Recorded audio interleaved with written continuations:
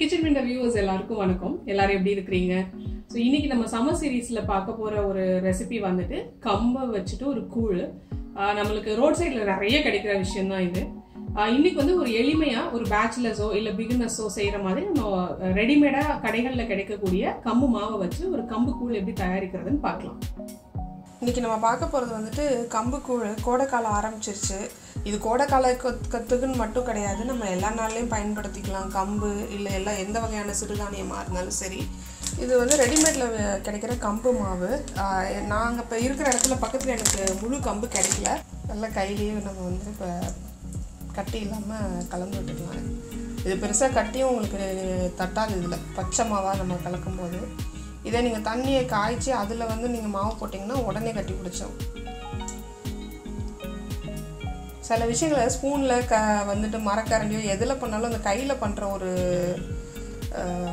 Perfection வராது. அதில் ஒன்று வந்து மாவு கரைக்கிற விஷயம். இப்போ நம்ம கரைச்சி விட்ட மாவு இப்படி தான் இருக்குது ஸோ இதில் நான் வந்து ஒன்றரை கப்பு மாவு ஒன்றரை கப்பு தண்ணி ஊற்றி கரைச்சிருக்கேன். இதுக்கப்புறம் வந்து ஒரு நல்ல அடிக்கனமான பாத்திரத்தில் இந்த மாதிரி பாத்திரத்தில் இதோட நான் அஞ்சு கப்பு தண்ணி ஊற்றிருக்கேன் தண்ணி நல்லா வந்து கொதிக்கட்டும். நல்லா கொதி வந்ததுக்கப்புறம் இந்த கரைச்சி வச்சுருக்க மாவை வந்து நம்ம கொஞ்சம் கொஞ்சமாக கிளறிக்கிட்டே ஊற்றிட்டு இருக்கணும் கட்டி மட்டும் தட்டிடாமல் பார்த்துக்கோங்க கைவிடாமல் கொஞ்சம் கிளறிட்டே இருங்க. இது ஒரு பத்துலேருந்து ப ப பன்னெண்டு நிமிஷம் ஆகும் இந்த மாவு வேகிறதுக்கு. நம்ம முழு கம்பு எடுத்து உடச்சி செஞ்சிருந்தா நம்மளுக்கு டைம் ஆகும். இது நம்ம வந்து ஆல்ரெடி நல்ல ஃபைனாக இருக்கிற மாவு தான். அதனால் சீக்கிரமே குக் ஆயிரும். ஸோ பத்து நிமிஷன்றது வச்சுக்கோங்க. எக்ஸ்ட்ரா ஒரு ரெண்டு நிமிஷம் நம்ம வந்து பார்த்துக்கலாம் மாவு எப்படி வெந்திருக்குன்றதை பார்த்துட்டு. சப்போஸ் உங்களுக்கு முழு கம்பு கிடைக்குது அப்படின்னா அந்த கம்பை நல்லா எடுத்துகிட்டு சுத்தப்படுத்திட்டு ஊற வச்சுருங்க. ஊற விட்டுட்டு ஒரு ரெண்டு மூணு மணி நேரம் ஊற வச்சதுக்கப்புறம் தண்ணி வடிச்சிட்டு மிக்சியில் போட்டு பல்ஸ் பண்ணுற மாதிரி ப பண்ணுங்கள் குருணை மாதிரி தான் இருக்கணும். ரொம்ப நர நரன்னு ரொம்ப நைஸாக இருக்கக்கூடாது. கொஞ்சம் நர நரன்னு இருக்கணும். அதை எடுத்து இதே மாதிரி ப்ராசஸ் ஒரு ஒரு கப்பு நீங்கள் மா அந்த மா அந்த குருணை மாவு எடுத்திங்கன்னா அஞ்சு கப்பு தண்ணி. அந்த ப்ரா அந்த ரேஷியோவில் வந்து பண்ணிங்கன்னா உங்களுக்கு கரெக்டாக வந்துடும் தண்ணி வந்து இப்போ நல்லா கொஞ்சம் கொதிக்க ஆரம்பிச்சிருக்கு. நான் கொஞ்சம் உப்பு போட்டுறேன் இதில்.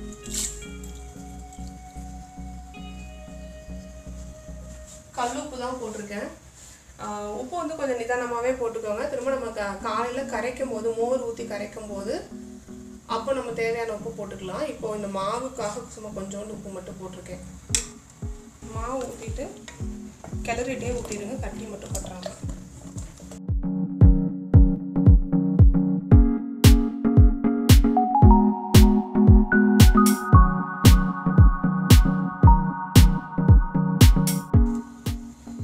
இது நம்ம அந்த பவுடராக போட்டிருந்தோம்னா வெறும் மாவு மட்டும் போட்டிருந்தோம்னா கண்டிப்பாக இது கட்டி பிடிச்சிருக்கும்.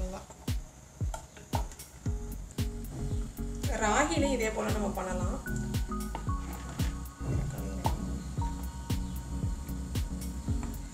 அதுக்கும் இதே தான். ஒரு ஒரு பங்கு மாவுக்கு அஞ்சு க பங்கு தண்ணி.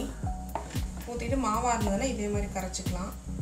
ராகியில் நம்ம இன்னும் என்ன பண்ணலாம்னா நம்ம பால் ஊற்றிட்டு கொஞ்சம் வந்து நாட்டு சக்கரை போட்டு கஞ்சி மாதிரி கூட குடிச்சிக்கலாம் நம்ம. குழந்தைங்களுக்குலாம் கொடுக்கலாம் அது.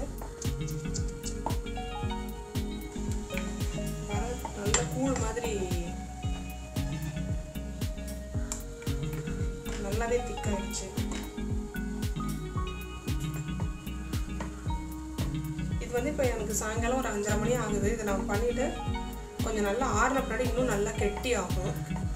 அது அப்படியே நமக்கு இந்த பாத்திரத்துலேயே அப்படியே நம்ம செட்டில் ஆக விட்டுட்டு அது மேலே கொஞ்சோண்டு தண்ணி மட்டும் நிரப்பி வச்சிடணும். வச்சுட்டு மூடி வச்சுட்டா காலையில் எடுத்து நம்ம கரைச்சி கூழ் மாதிரி குடிச்சிக்கலாம். வேணுங்கிற தொட்டுக்க எல்லாம் எடுத்துக்கிட்டு நம்ம வெங்காயம் மாங்காய் வத்தல் வகைகள் அதெல்லாம் எடுத்துக்கிட்டு பேச்சுலர்ஸ்க்குலாம் இது ரொம்ப ஈஸியான ஒரு குக்கிங்கு ஸோ முடிஞ்சாச்சு. இந்த பாருங்க இந்த அளவுக்கு வெந்திருக்கு.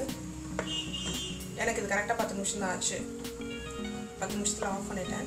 இது இப்படியே இந்த பாத்திரத்துலேயே விட்டுருங்க. விட்டுட்டு நல்லா கொஞ்சம் ஆறுனதுக்கப்புறம் நல்லா கட்டி ஆகிடும் நான் உங்களுக்கு வேணால் காமிக்கிறேன்.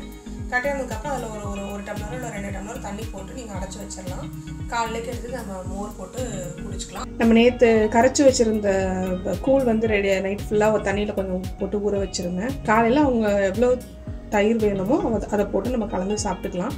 அது கூட நம்ம வெங்காயம் பச்சை மாங்காய் கொத்தரை வத்தல் மிளகா வத்தல் இது வேணாலும் நம்ம வந்துட்டு போட்டு சாப்பிட்டுக்கலாம். ஊறுகாய் அது மாதிரி தொட்டு சாப்பிட்றதுக்கு நல்லாயிருக்கும் இதுக்கு பச்சை மாங்காய் காம்பினேஷன் வந்து கொஞ்சம் அல்டிமேட்டாக இருக்கும். உப்பு மட்டும் கொஞ்சம் செக் பண்ணிக்கோங்க. நீங்கள் கரைக்கும் போது மோர் போட்டு கலக்கும் க கலக்கும் போது தயிரோ மோரோ போட்டு கலக்கும் போது உப்பு மட்டும் செக் பண்ணிவிட்டு வெங்காயம் கட் பண்ணி போட்டு நம்ம சாப்பிட்டா குளிர்ச்சியான ஒரு பிரேக்ஃபாஸ்ட் ரெடி ஸோ இது மாதிரி இன்னும் சம்மர் ரெசிபீஸ்க்கு வந்துட்டு நம்ம வரிசையாக ஒன்று ஒன்றா போட்டுட்ருக்கோம். இது நான் சொன்ன இது சொன்ன மாதிரி தான். இது வெறும் சம்மர் ரெசிபின்னு பார்க்க வேண்டாம். இது ஒரு நல்ல ஒரு சிறுதானிய உணவு. கம்பு வந்துட்டு நம்ம டயட்ல இருக்கிறவங்களாம் தாராளமாக எடுத்துக்கலாம். ஒரு நூறு கிராம் கம்புக்கு வந்து ஒரு முந்நூற்றி எழுபது கேலரி தான் இருக்கும். இரும்பு சத்து நிறைய கொண்டது வந்து இந்த கம்புங்கிற ஒரு சிறுதானியம். அரிசி சாப்பாட்டை விட இரும்பும் சரி ஜிங்க்கும் சரி பெங்னீஷியமும் சரி ஃபாஸ்பரஸும் சரி அதிக அளவில் இருக்குது ஃபைபரும் உங்களுக்கு நிறைய இருக்குது நார்ச்சத்தும் உங்களுக்கு நிறைய இருக்குது ஸோ டயட்ல இருக்கிறவங்களோ இல்லை ஒர்க் அவுட் பண்ணுறவங்களோ தாராளமாக ரைஸோட ஒரு ஆல்டர்னேட்டாக வந்து கம்பை பயன்படுத்திக்கலாம். நம்ம சேனலில் வர கண்டென்ட் உங்களுக்கு பிடிச்சிருந்ததுன்னா லைக் பண்ணுங்க ஷேர் பண்ணுங்க சப்ஸ்கிரைப் பண்ணிக்கோங்க. கூடவே வந்து பெல் ஐக்கன்ங்கிற பட்டனையும் வந்துட்டு கிளிக் பண்ணிக்கோங்க. நான் போடுற எல்லா வீடியோஸோட நோட்டிஃபிகேஷன் உங்களுக்கு உடனுக்குடன் வந்துடும் நன்றி வணக்கம்.